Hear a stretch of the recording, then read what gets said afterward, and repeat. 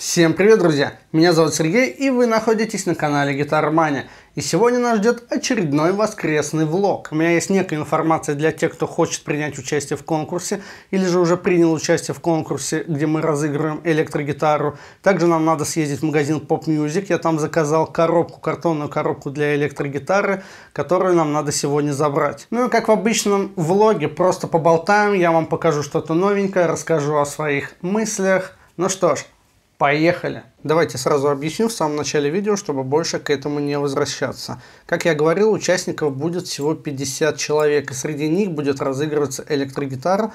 Второе место это у нас будет примочка Coco Overdrive, и третье место будут струны. У нас уже 59 человек, но, как я говорил, разыгрываться призы будут только между патронами.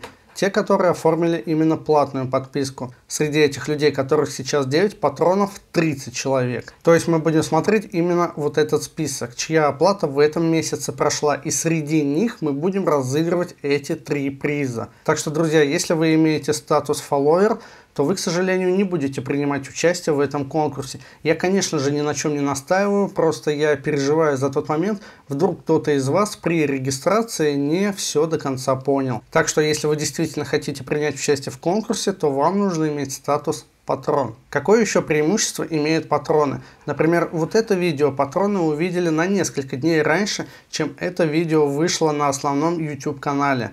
Записи, например, вот этих стримов остаются теперь только на Патреоне. На основном YouTube канале я их оставлять не буду. Стрим прошел, и я его сразу скрываю и добавляю именно сюда. Как я уже говорил, я это делаю из-за того, что стримы очень плохо влияют на статистику самого основного канала. Плохое удержание аудитории, потому что видео очень длинное никто не будет смотреть его, наверное, полностью за один раз. Если вы посмотрите половину только видео, то именно по вам статистика будет по удержанию 50%. 50% это очень плохо. Так что такие видео на канале я оставлять не буду. Один из моих патронов попросил выкладывать стримы сюда, чтобы их можно было посмотреть. Ну, я с удовольствием это делаю. Так что, друзья, если вы еще не подписаны, но хотите поддержать мое творчество, мои начинания, то обязательно вступайте к нам в Patreon. Вот, и также нам сегодня еще нужно будет съездить в магазин Pop Music. Позавчера я заказал эту коробку, ее привезут а, магазин на Нагатинской, по-моему. Да, точно, на Нагатинской. И я поеду забирать эту коробку. Эта коробка мне нужна для того, чтобы отправить победителю его гитару. Речь идет именно об этой электрогитаре. Это недорогая электрогитара, но, как оказалось, очень и очень неплохая. Отправлять я буду вот в этом чехле. Тоже очень прикольный чехол. Стоит не так уж и дешево, если честно, но какой-то чехол, какой-то чехол отправить нужно. Все это я мотаю стрейч пленкой и упакую в ту коробку, которую я только что вам показывал, и за которой мы сегодня еще поедем.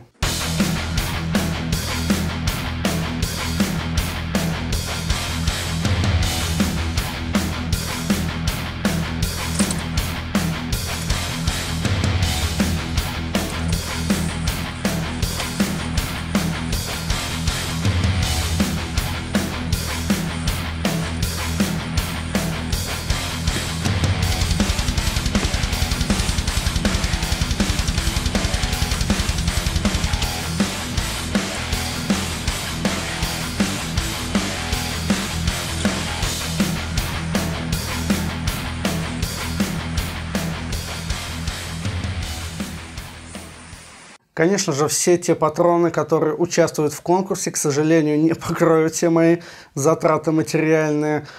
Гитара, чехол, коробка отправить. Но я надеюсь, что благодаря этому конкурсу я сделаю некую приятность вам. У вас будет надежда выиграть электрогитару, а надежда ведь она дорогого, как говорят, стоит. И, возможно, надежда даже иногда бывает чуть лучше, чем сам итог, так скажем. И я надеюсь, что благодаря этому конкурсу мы создадим свой некий костяк, так скажем, свою семью. И дальше будем вместе поднимать и канал, участвовать в каких-то розыгрышах. Я постараюсь сделать их как можно чаще. Будем что-то покупать с того же Алиэкспресса, заказывать на деньги, так скажем, с Патреона. Потом делать обзор, это какие-то примочки, возможно, даже гитары, если у вас когда-нибудь станет чуточку больше.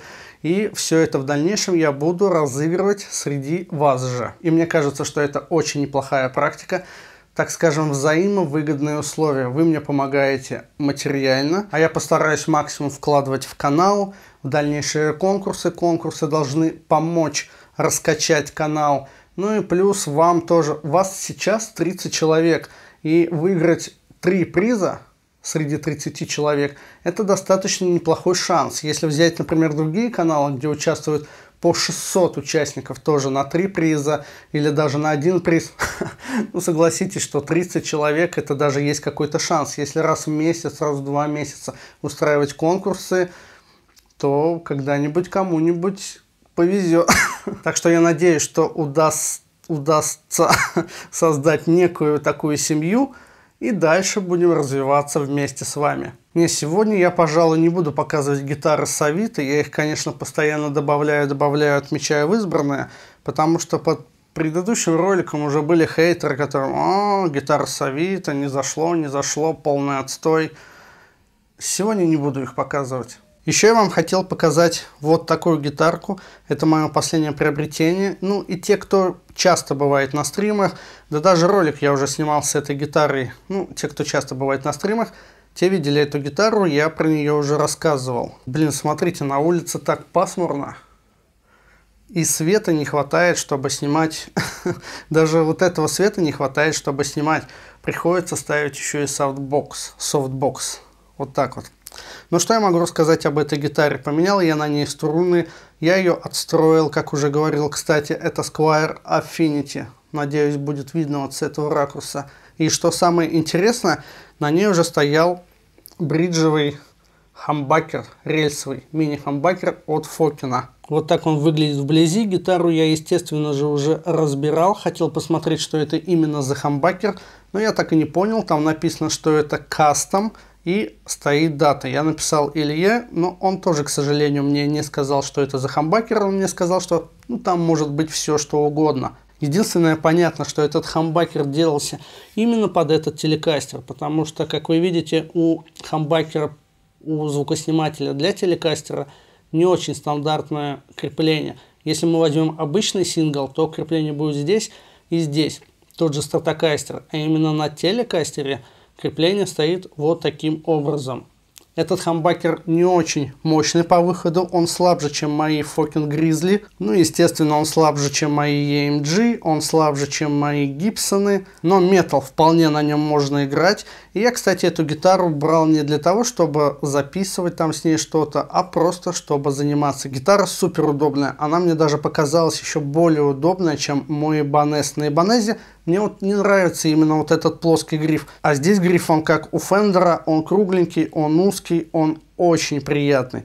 Лады, чуть-чуть износ на них есть, но износ, так скажем, не критичный. И эта гитара мне понравилась настолько сильно, что если когда-нибудь придет время менять на ней лады, то я с удовольствием поставлю на нее нержавейку и буду играть дальше. Гитарка в таком весьма потрепанном состоянии, если это можно видеть, кучу сколов. И даже я когда снимал вот этот пигард, под ним краска ярче, чем здесь.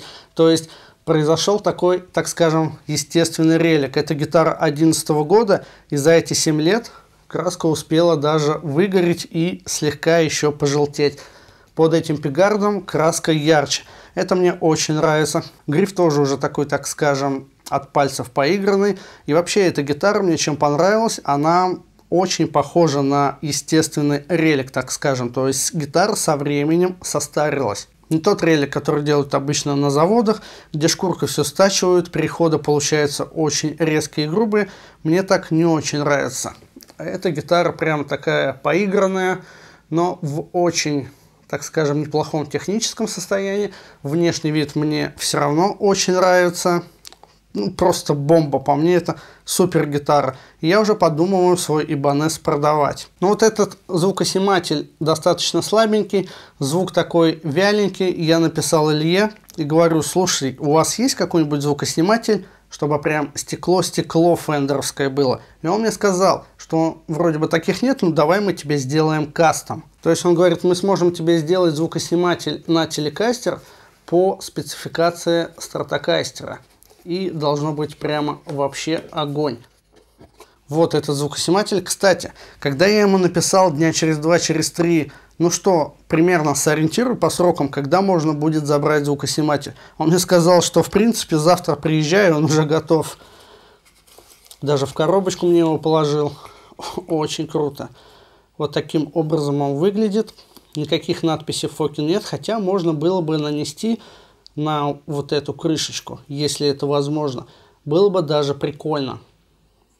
Вот так, 3200 стоил мне этот звукосниматель. Я обязательно сделаю видео, мне надо сейчас записать вот этот звукосниматель. Потом, когда поменяю, запишем вот этот звукосниматель. Все сделаем в одно видео, поиграем через клеечку. Ну и послушаем вместе с вами, стоит ли менять звукосниматели на Фокин, стоит ли менять звукосниматели в принципе. Ну и многие будут спрашивать, почему именно ты хотел Фокин. Но у меня уже есть Фокин Grizzly, очень мне нравятся звукосниматели, звучат классно. У меня здесь уже Фокин стоял, когда я покупал эту гитару. Ну и, конечно же, почему Фокин? Да потому что они стоят в два раза дешевле, чем аналоги, так скажем, американские или еще какие-то. Так что, я думаю, сделаем скоро видосик, сравним этот звукосниматель с гитарой Squire Telecaster Affinity, со звукоснимателем Фокин.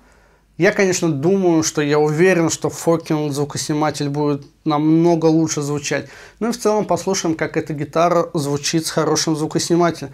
Естественно, через какое-то время я сделаю и полный обзор этой гитары. Так что, если вы еще не подписаны на канал, обязательно подписывайтесь. Ну и, конечно же, ставьте лайки. Друзья, если вам понравилось это видео, обязательно ставьте лайки. Подписывайтесь на канал, нас ждет много всего интересного. Подписывайтесь на мою страничку в инстаграме, ссылочки будут в описании под этим видео. Если же вы хотите принять участие в конкурсе на электрогитару, который закончится 30 или же 31 декабря 2018 года, то все ссылочки на ролик с конкурсом будут в описании под этим видео. Если же вы хотите поддержать мое творчество, мои начинания материально, так скажем, то ссылочки на страничку Patreon тоже будут в описании под этим видео. Ну а меня зовут Сергей, и это канал Гитара Мания. Всем позитивного настроения. До встречи на ютубе.